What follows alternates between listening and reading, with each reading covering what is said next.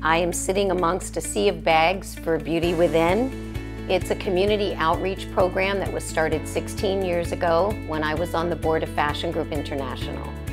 I found myself surrounded by amazing women that were in the retail industry, the beauty industry, and I thought, how great would it be if we could take the remainder of whatever products that they still had and fill tote bags for women living in relief shelters.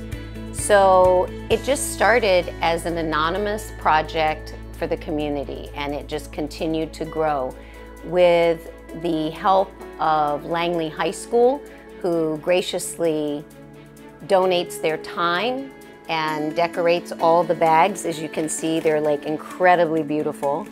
And every year they change because the fact that these women are living in relief centers with their children, we want them to feel so special on Mother's Day that when they get up and they are given these products and the message that beauty starts from within and that there's always hope.